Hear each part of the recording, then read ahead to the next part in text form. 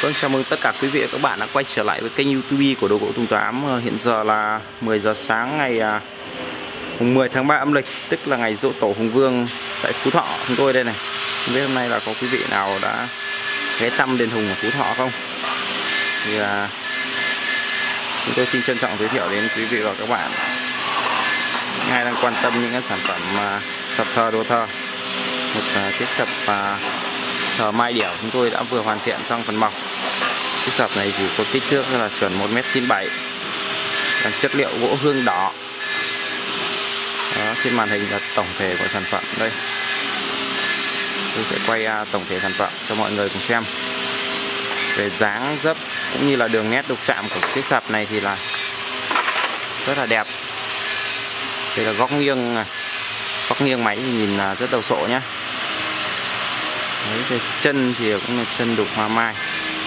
Chân 22 nhé chân 22 các bác. Dạ đục mai điểu cực kỳ là sắc nét.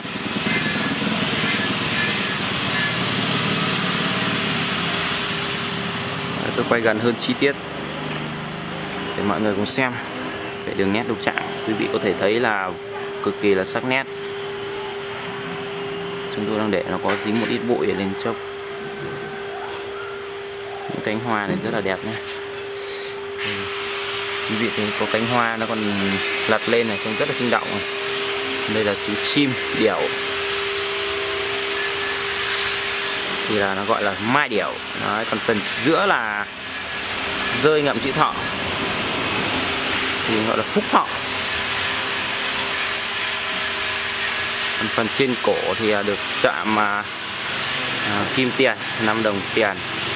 Đấy, rất là cái ý nghĩa. Hay là bầu rượu cuốn thơ này. Tất cả những cái uh, phần cổ trên là thường thường những sập kia là dòng trầu mặt ngoẹt. À, như đây chiếc này là dòng trầu cuốn thư. Ở giữa là cuốn thư. Còn những cái con dòng ở hai bên đốc này thì là được chúng tôi uh, chạm cách điệu hóa đi. Là nó sẽ dòng hóa mai.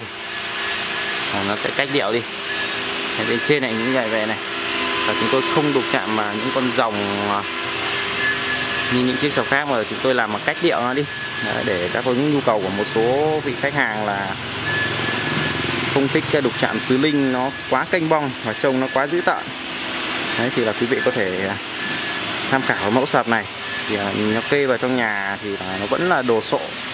Tuy nhiên là nó không chạm hổ phù, nó không dữ tợn và nó nhiều gai góc như kia. Chúng ta có thể dễ lau chùi hơn nó không có nhiều không kênh bong nhiều. Nhưng mà vẫn à, đảm bảo là tổng thể nó vẫn đồ sộ. Đấy. chiếc sờ cờ này thì là rất đẹp gỗ hương đỏ. Quý vị những phần này quý vị có thể lau chùi rất là dễ. Lau chùi dễ hơn là những cái mẫu đây. Chúng tôi quay luôn là những cái mẫu uh, tứ linh của chúng tôi này. Thì trông nó dữ tợn hơn. Đấy, trông nó cực kỳ dữ tợn luôn. Đấy, nhưng mà một số khách hàng lại nói với chúng tôi là họ không thích là sừng sỏ quá. Họ thích đơn giản thôi. Đấy thì tôi cũng giới thiệu mẫu này. Mẫu này thì đơn giản hơn hài hòa hơn và vẫn đảm bảo được cái độ hoành tráng. Chân 22 rất là to. Đấy. ván mặt này là mặt hai lá nha mọi người nhé rất là đẹp, không có rác, sâu xia gì cả.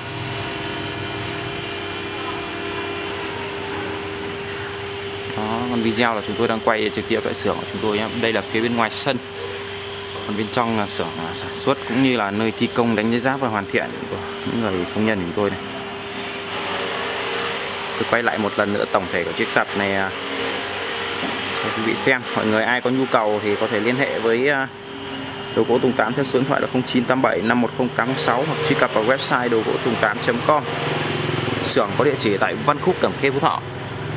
Mọi người khi xem xong video thì bấm like và đăng ký kênh để ủng hộ chúng tôi nhé. Rồi. Đây là, quý vị có thấy là rất nhiều xe của những người thợ chúng tôi đang để ngoài cổng nhé. Biển 19 Phú Thọ đây. Xưởng tôi là có hơn chục công nhân rất là đông và hẹn gặp lại mọi người trong những clip khác.